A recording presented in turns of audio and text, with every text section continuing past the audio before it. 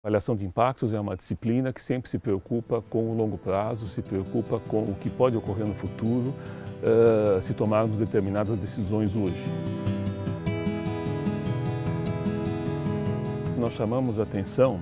para a eh, necessidade de um melhor entendimento dessas consequências a longo prazo e, ao mesmo tempo, também das ameaças que podem eh, se manifestar sobre essas ações, seja durante o curso de sua implementação, seja depois que se der por encerrado a, a implementação, a adoção de cada um dos uh, programas. Uma vez eh, tomadas essas primeiras ações, aquelas que virão, uh, virão depois, né, virão subsequentemente, uh, precisam de uma avaliação prévia, cuidadosa, uh, e inclusiva, inclusiva no sentido de é, serem construídas em conjunto com é, partes afetadas, com partes interessadas, com, evidentemente, com autoridades dos diversos níveis de governo. O rompimento da barragem de Fundão é, causou diferentes impactos ambientais é, sobre diferentes setores da bacia, da zona costeira, da área oceânica. O primeiro desafio foi entender a complexidade do contexto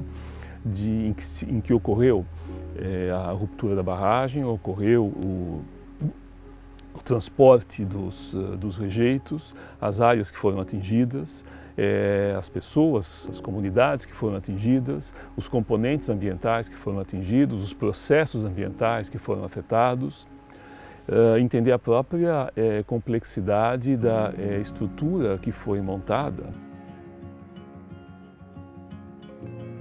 Os impactos do rompimento de fundão tiveram primeiro um impacto dentro do ambiente aquático, mas que depois foi se estendendo para os sistemas terrestres.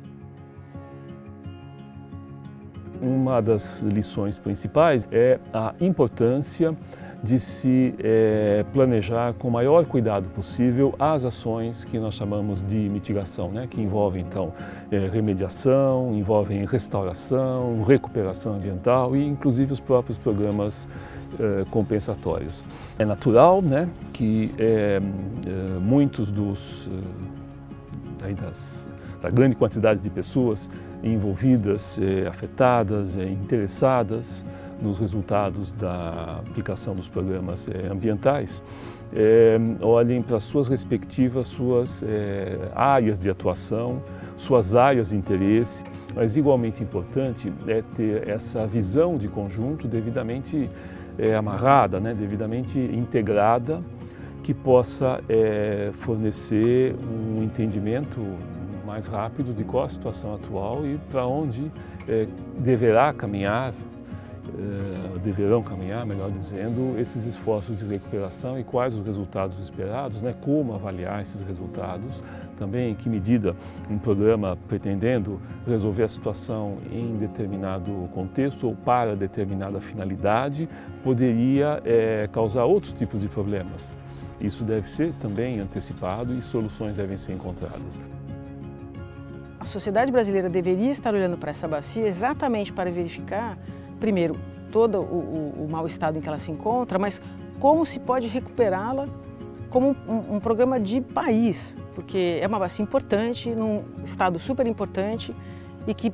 se tiver um bom resultado, poderá é, refletir-se em resultados similares e bons também em outras bacias que, sabemos nós, estão também muito degradadas.